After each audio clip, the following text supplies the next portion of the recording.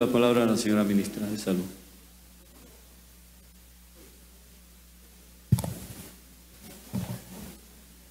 Sí, bueno, muchas gracias.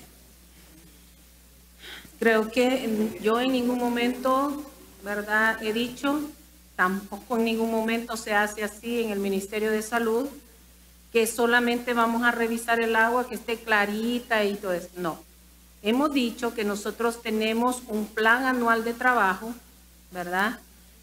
En la División de Salud Ambiental, DISAM, del Ministerio de Salud, donde se maneja todo el tema de saneamiento ambiental que compete la calidad del agua, el plan antirrábico, ¿verdad? control de vectores y, e incluye el monitoreo de la calidad de alimentos y bebidas de consumo humano, ¿verdad?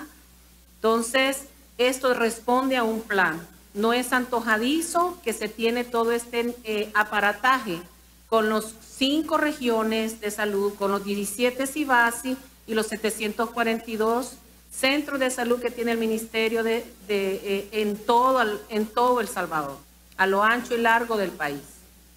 Se tiene todo un proceso y un andamiaje de recolección de muestras, ¿verdad? Para poder analizarlas y estar garantizando que con base a los parámetros que nos dicta el RTS, que está hecho en base a la guía del agua de la OMS nos da los rangos. Por eso hablábamos que en medicina no se puede hablar sí o no sobre ciertas cosas. Entonces se dan rangos, rangos.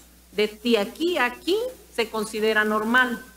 Entonces, como pueden ver acá, es toda una tabla de parámetros que se realiza al agua para poder trabajar. Nosotros no, no damos juicios de valor. Ah, sí, el agua se ve no, ah, somos científicos y trabajamos con herramientas científicas.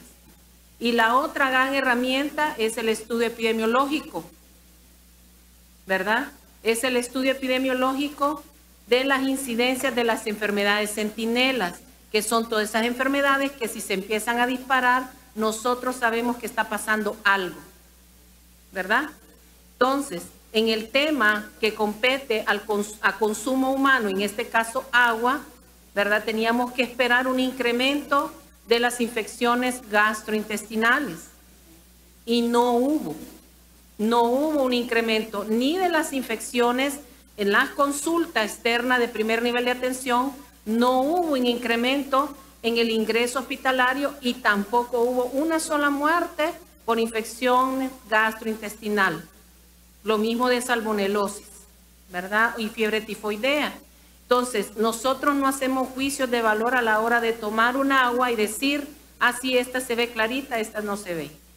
Si se detectó un problema a raíz de comunicación con el presidente de ANDA y las múltiples denuncias que iban en escalada de los usuarios de ANDA, que es a quienes nosotros le verificamos el agua. Y inmediatamente se generaron todas las indicaciones que ya comenté. El equipo técnico entre las tres instituciones del Estado, MinSal, MAR y ANDA, ¿verdad? Para recolección georreferenciada de muestras e intensificar las que nosotros como ministerio hacemos. Entonces sí tuvimos responsabilidad a la hora de encarar el problema, pero no podemos emitir un juicio de valor y el mismo reglamento nos dice en sus artículos ¿Cómo voy a hacer para llamar a emergencia?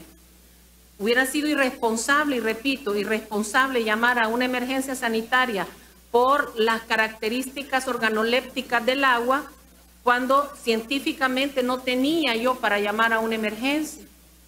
De hecho, yo creo que, y con justa razón, me hubieran llamado aquí a interpelar por qué llamaba una emergencia sanitaria de agua si no tenía elementos técnicos, científicos para hacerlo ni de medición del agua, ni epidemiológico.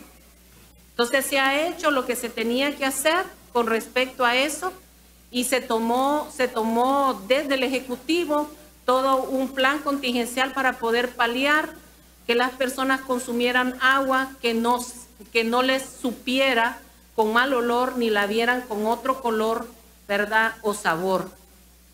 Entonces, eh, eh, esa sería mi respuesta a la, a lo que se me pregunta. Gracias, señora ministra.